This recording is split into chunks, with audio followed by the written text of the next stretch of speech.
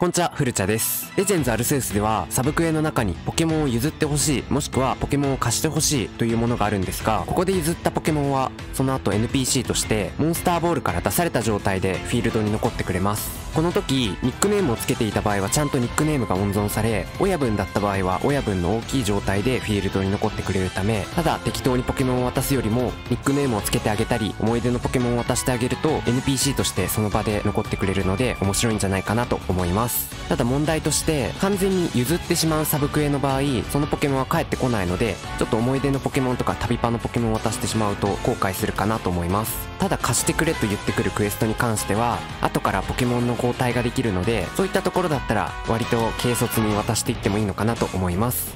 それでは実際に僕がこのサブクエに初めて気づいた時に旅パに入っていた V ゼルをうっかり渡してしまった時の映像をご覧ください。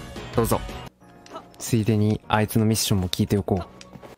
あ、同じ種類のポケモンでも大きさが違うって本当かな博士が話していたんだけど、並んだ様子見てみたいな。でも僕の V ゼルより大きな V ゼルがいるなら、並べて比べてみたいな僕のより大きい V ゼル捕まえたら譲ってほしいんだ。俺は用意しとくから頼んだよ。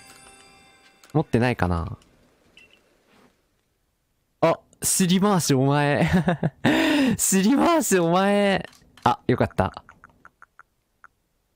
こう、このど、どうでもいい V ゼルをどうぞ。すごいな。こんな早く連れてくると思わなかったよ。でもそうだな。もっと大きい子。まさか尻回しお前。じゃあ一応見せてみるか。一か八か。これ見せて、もうそうだったら観念しよう。本当はあげたくないけど。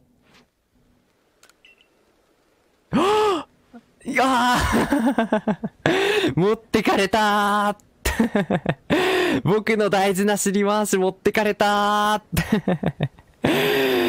返して僕の、僕のポケモン。ありがとうよ。小さい V ゼルと大きい V ゼル。並んでると兄弟みたいだ。僕の大事なポケモンなんですけど、それ。小さい V ゼルはこちらを見上げる鼻先が可愛らしい。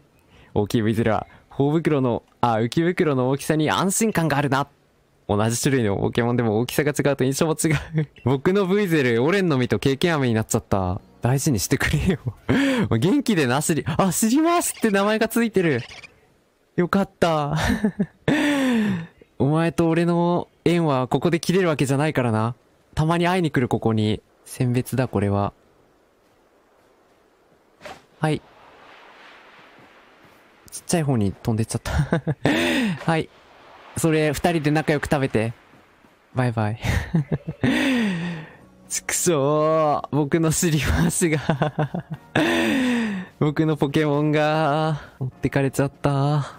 でもこれで手持ちが一個空いたし、また違うポケモンを育てることができるな。これは、ミノムッチを連れて行こう。お前は、お前は頭のとこがネジネジしてるから、頭回しだ。頭回しだ、お前は。あの子の代わりだ、君は。